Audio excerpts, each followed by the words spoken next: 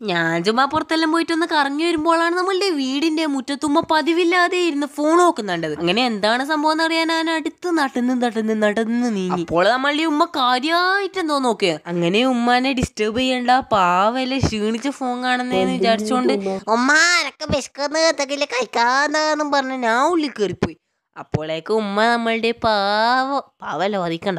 ആയതുകൊണ്ട് നമ്മൾ ഉമ്മ ബാക്കിലേ വന്നു. എന്നിട്ട് ഉമ്മ ഇവിടെ ഉണ്ടായ ഒരു സോഫയിൽ കയറിയിരുന്നു. അങ്ങനെ ഞാൻ ഡ്രസ്സെല്ലാം മാറ്റിയിട്ട് വരുമ്പോൾ നമ്മളുടെ ഉമ്മ കരിയുന്നു. ഇതുവരെ സീരിയൽ കണ്ടിട്ടല്ല അത് ഞാൻ ഉമ്മാനെ കരിഞ്ഞിട്ടില്ല അങ്ങനെ ഇതാരാണ് എന്റെ ഉമ്മാനെ കരിയിപ്പിച്ചതെന്ന് അറിയാൻ ഞാൻ ക്യൂരിയോസിറ്റിയോടെ നടന്ന് നീങ്ങി. അപ്പോഴാണ് നമ്മളുടെ ഉമ്മ പറയുന്നത് റോബിൻ പോയടാന്ന്. റോബിനാ? ഏത് റോബിനി? എന്ത് റോബിനി? ഇത് ചോദിച്ചത് എന്റെ ഉമ്മാക്ക് മുത്തേ ദേഷ്യം വന്നിട്ട് പറയണ്ട. ഉമ്മ എന്നെ കണ്ണുരുട്ടി പേടിപ്പിച്ചു.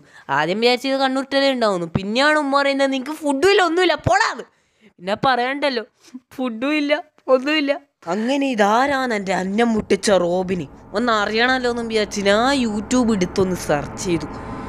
Doctor Robin Radhakrishnan.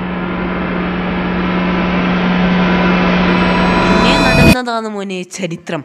റോബിന്റെ രണ്ട് മൂന്ന് നാല് വീഡിയോ കണ്ടിരുന്ന തന്നെ ഞാൻ റോബിന്റെ കട്ട ഫാനായി. പിന്നെ ചോറും വേണ്ട ഒന്നും വേണ്ടെന്നായി. റോബിൻ മതി. അങ്ങനെ ഞാൻ എന്റെ ഡ്രോയിങ് ബുക്കും പെൻസിലും വില കൂടിയ ഗ്ലാസ്സും എല്ലാം ഇട്ടിട്ടൊരു പരിപാടി തുടങ്ങി. ആദ്യമായിട്ട് നമ്മളുടെ റോബിനെ വരച്ചു തുടങ്ങാം. പിന്നെ ബാക്കി നിങ്ങൾ ഇഷ്ടം പോലെ ഏതോ നിങ്ങൾക്ക് വരക്കാരെങ്കിൽ നിങ്ങൾ വരക്കുക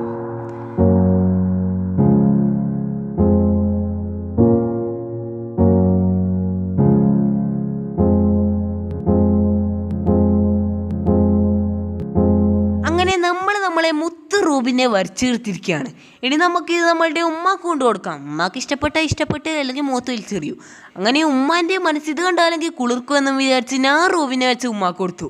അങ്ങനെ ഉമ്മ റൂബിനെ കണ്ടതും കണ്ടതും ഉമ്മാക്ക് സന്തോഷം കൊണ്ട് നിൽക്കാനിരിക്കാനും കഴിയുന്നില്ല പിന്നെ പറയണ്ടല്ലോ ബിരിയാണിയായി.